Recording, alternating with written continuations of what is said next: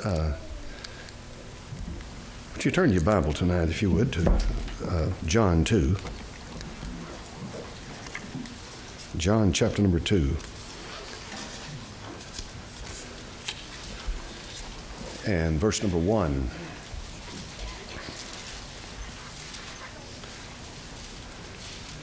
John chapter 2, verse 1, the scripture says, In the third day there was a marriage in Cana of Galilee, and the mother of Jesus was there.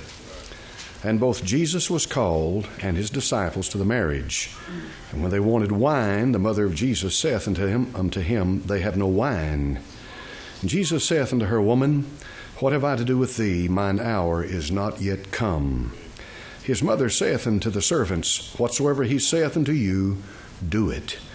And there were set there six water pots of stone, after the manner of the purifying of the Jews, containing two or three firkins apiece. Jesus saith unto them, Fill the water pots with water. And they filled them up to the brim. And he saith unto them, Draw out now, and bear unto the governor of the feast. And they bare it. And when the ruler of the feast had tasted the water that was made wine, and knew not whence it was, but the servants which drew the water knew, the governor of the feast called the bridegroom and saith unto him, Every man at the beginning doth set forth good wine, and when men have well drunk, then that which is worse. But thou hast kept the good wine until now. Note carefully verse 11. This beginning of miracles did Jesus in Cana of Galilee, and manifested forth his glory, and his disciples believed on him. Father, bless your holy word now. In thy name I pray. Amen. The, the Gospel of John is written so that you might believe. These things are written that you might believe.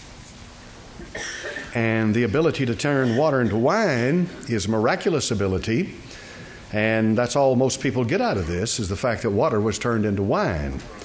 And uh, truth is, I've had uh, people who never darken a church door and, uh, you know, never read the Bible, never pray, but they all know where Christ turned water into wine, and they all know where it says use a little wine for your stomach's sake and your often infirmities. They, they know of two places in the Bible if they know nothing else. so, you know, you'll have them quote that to you. So you might as well expect that. But uh, there's far more going on here than simply turning water into wine. Uh, but first, I want to call your attention to the fact the Bible says it is the beginning of miracles. It's the first one. John wants you to know that is the first miracle. John numbers the miracles in the gospel, and he said the gospel is written that you might believe. The gospel of John is the fourth gospel, as you know, and it is the gospel that was written uh, after the Jewish kingdom had been rejected and the Jewish king was rejected. The Sermon on the Mount and the gospel of the kingdom now were something that had been moved into abeyance into the future because that time is yet to come. Romans chapter number 11. So the Gospel of John is a gospel that's written to as close as you could possibly get to the Pauline epistles. It's about the death, the burial, and the resurrection of Christ. It's about believing on who he is. The burden of the Gospel of John from chapter number one all the way through the last chapter is to unfold to you who he is. And by doing that, it, begin, it, it lays the foundation for true salvation. You can't be born again, folks, by believing about Christ. And you'll never be born again by believing about the great ministry of the work of the church or some preacher or minister. You're born again when you receive God's salvation. And that salvation is a person. Amen. And that's a mouthful. It's a person. So in John chapter number two, the beginning of miracles is turning water into wine. Now, when you begin to get the lesson that he teaches them here and throughout the rest of this chapter, you'll begin to understand that the wine can either be put in old bottles or new bottles. If you put new wine in old bottles, you've got a problem because the new wine will ferment, and by doing so, the old bottles will eventually give way because they're not strong enough to hold what's going on inside them.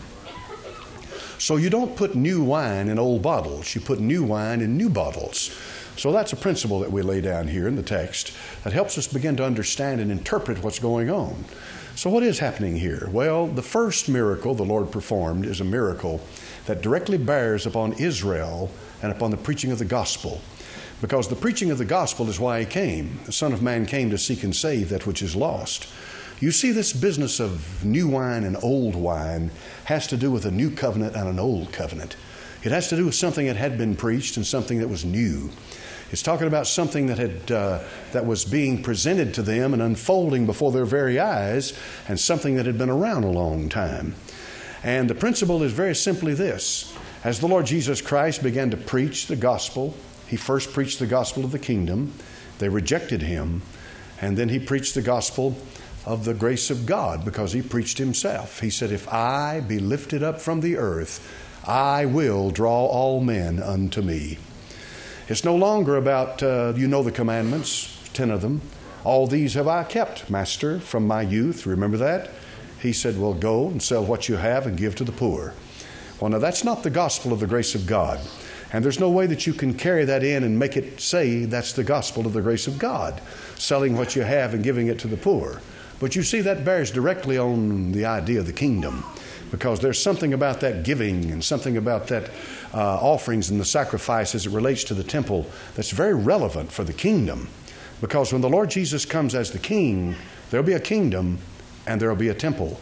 That temple will be rebuilt, and the Lord Jesus Christ will reign from Jerusalem in that new temple of the Lord. And he'll reign as the son of David, sitting on the throne of David, where God promised in perpetuity that throne would have, uh, would have sovereignty, and so he will. Well, here's what's going on. There's two ways to look at this, and they both apply in, uh, in, in, in, uh, in practical teaching. Number one is this the old law, the law of the Jew, the law of Abraham, Isaac, and Jacob, uh, was coming to an end. The law and the prophets were until John, but since that time the kingdom of God is preached, and every man presseth into it. That's the old wine. That old wine is not to be transferred over and put into new bottles. In plain words, our faith today, the faith of Christ, the faith of that we have as born again believers in the Lord Jesus Christ, is not Judaism reworked. It's not Judaism reworked. It's not a it's not an offshoot of Judaism with a Gentile flavor added to it. It's not us reaching into the Old Testament law and carrying over parts of it that we lack and building this superstructure of the Christian faith from it. And some try to do that. And that's not it. Uh, there are those who try to go back into the Old Testament and to the Aaronic priesthood, and they carry over that priesthood into the New Testament, and they call themselves priests, and they say that they are intermediaries, and the greatest intermediary, of course, is Mary between God and men. Well, that's not so. There's one God and one mediator between God and men, the man, Christ Jesus. The priesthood of today is not an Aaronic priesthood. It's a priesthood according to Hebrews 12, Hebrews 7 rather, a priesthood of Melchizedek. So if, if we try to carry over the Old Testament law and redo it and refurbish it and repackage it and respin it as a Gentile church, we're making a big mistake. And the biggest mistake we're making is the fact that we have moved away from grace and we've gone back to law. And the apostles said over there in the book of Galatians that they, in the book of Hebrews rather, that they've fallen from grace. If you try to if you try to take the law and make it into grace, you can't do it. Law and grace are absolutely antithetical to each other, they don't work together. So, the old wine in John chapter number two, the old wine is the law, and that old wine is null and void, satisfied and fulfilled in all of its demands. And it cannot save, never was able to save, never will be able to save. All it could do is condemn the individual and show them their weakness and point them to Christ. So that's the old wine. But there's also another aspect of the old wine in John chapter number 2. So what is that? That's the old man. The old man. You see, the Old Testament law and typology is like the old man. So what do you mean? Well, the old man is never made new. The old man is not cleaned up. He's not, uh, he's not uh, uh, uh, prettied up. He's not spun to make him acceptable to Christianity. The truth of the matter is, the old man's still the old man. He'll be the old man as long as you live. Therefore, the old man cannot be put into new bottles. Just like you cannot put the, the law into a new bottle, it won't work because it will not be able to handle that newness that comes from newness of life that we get in the Lord Jesus Christ. If you're born again tonight, you have a life that did not come to you from the law. The law did not beget you. It is not an outgrowth of the law. And the life that you have tonight, certainly, if you're a born again believer, is not an outgrowth of the old nature. God did not reform the old man. Religion wants to reform him. The world wants to reform the old man. He wants to teach you that in order to live the Christian life, that you have to reform the old man and teach him how to be a Christian, teach him how to live the Christian life. Nothing could be further from the truth. There's nowhere in the New Testament that you ever told one time to cause the old man to live a Christian life or to teach him how to, Christian, to live a Christian life or instruct him in that. The old man's mind, his brain, that natural man, the natural brain. And some of you in here in this house tonight, you're listening to me with a natural brain, a natural mind because your mind is not focused on spiritual things. You're trying to process what you're receiving from me tonight with a natural brain and a natural mind.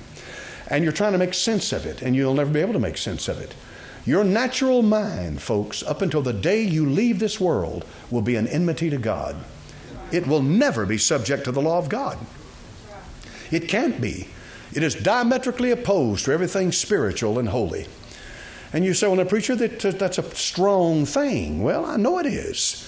This is why the Bible says, casting down imaginations and every high thing that exalteth itself against the knowledge of God, and bringing into captivity every thought to the obedience of Christ. That's a, that's a conscious warfare that you have to engage in to bring the mind, bring it down, bring it into subjection. You're not bringing it into subjection to use it, you bring it into subjection so that the mind of Christ now can begin to flourish and blossom and grow in your life. Say, so how do I know I have the mind of Christ? Because the mind of Christ is the mind of Christ. And if you have the mind of Christ, you have the mind He thought with while He was here. You'll think on spiritual things. You'll see yourself for what you are. You'll never get mad when someone points out to you that the old nature and the old man and the old mind is enmity to God and can never be cleaned up. It'll never offend you when someone tells you, you realize, don't you, that there are two of you, a Jekyll and a Hyde.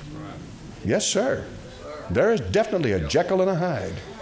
No question about it. One is a monster, and the other one is an acceptable human being. And every one of us in here tonight must learn to know that unsaved natural mind.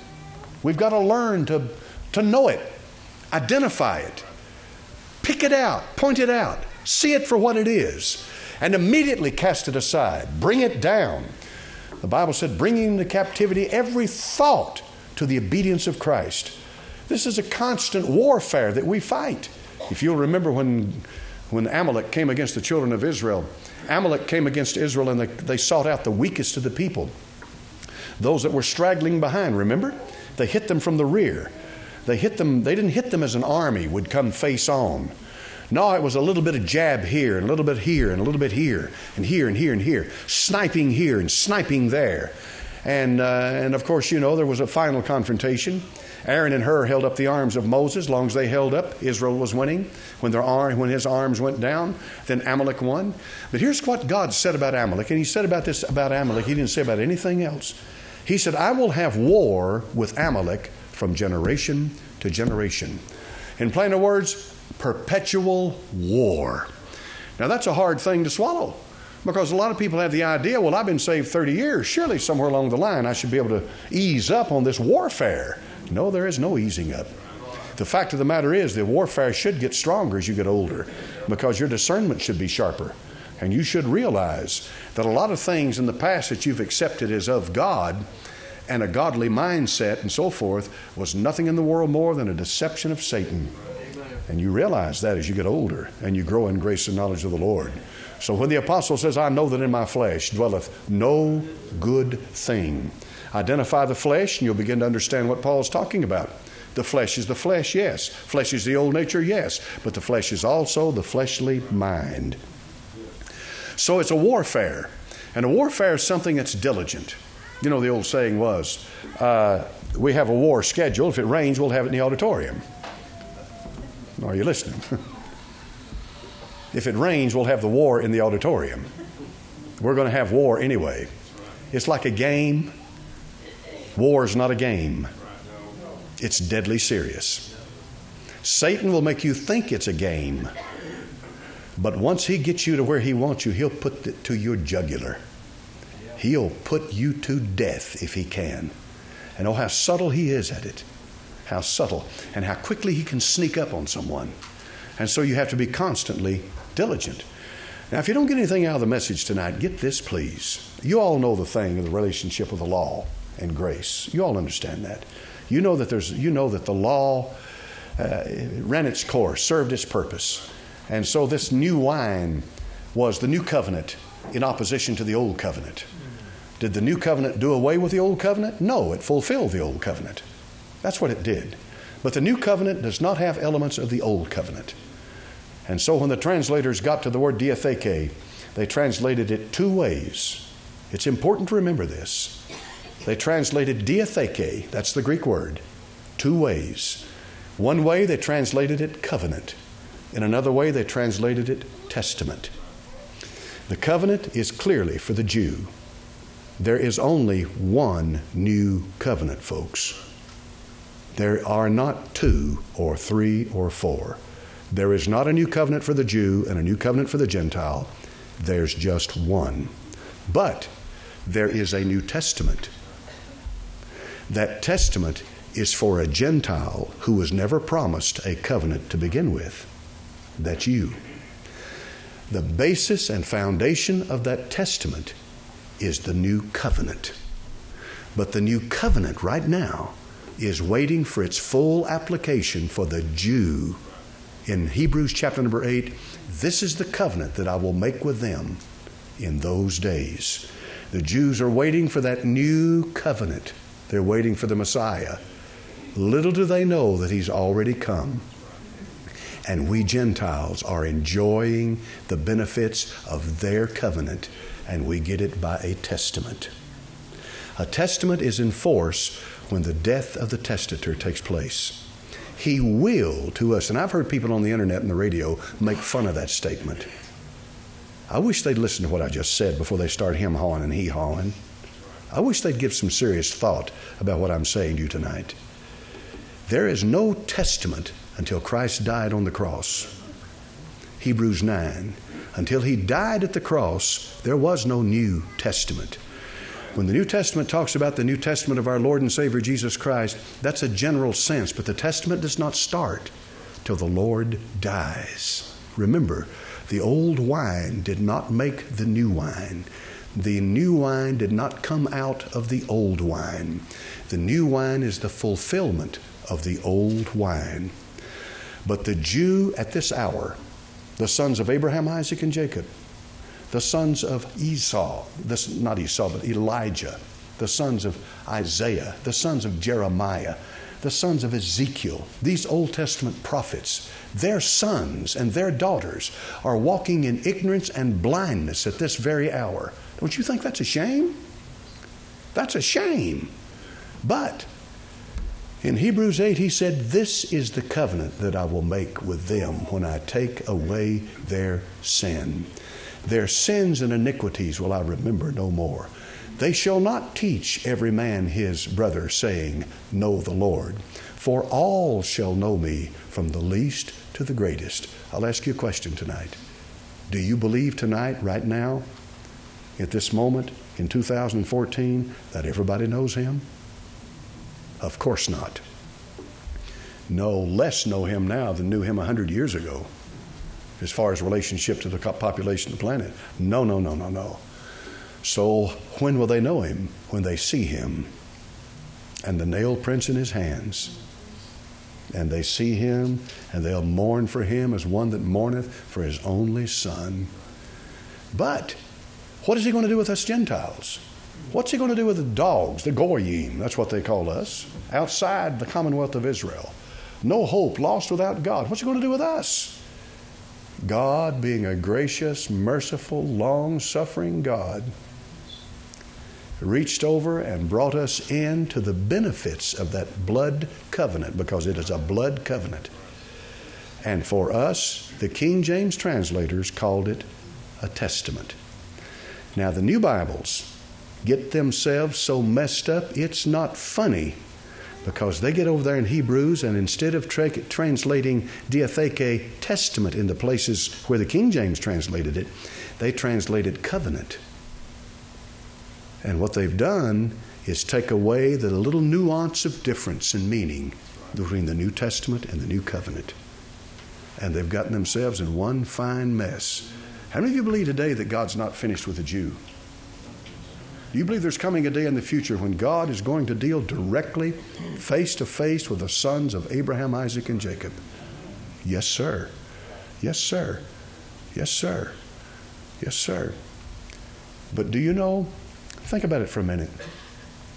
Go back with me now, and let's start thinking of the covenants in the Bible. What was the first covenant in the Bible? The first covenant. The Noahide covenant? The covenant with Noah? Yes.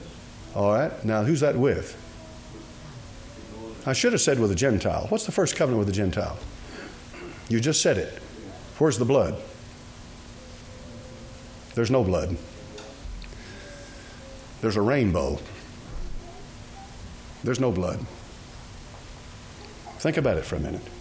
The blood covenant is with the Jew. The first time that God brought a man into a covenant relationship with him, with himself, where blood was shed and a man walked between that blood, who was it? It was Abraham.